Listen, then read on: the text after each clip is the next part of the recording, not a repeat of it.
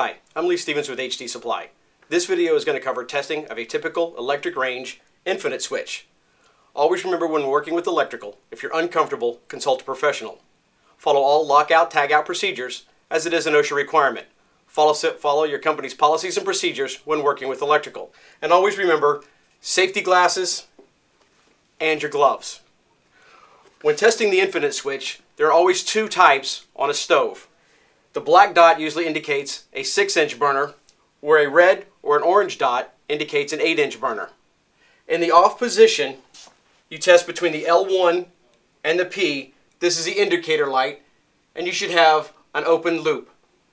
If you test between the L1 and the H1, also in the off position, you have an open loop.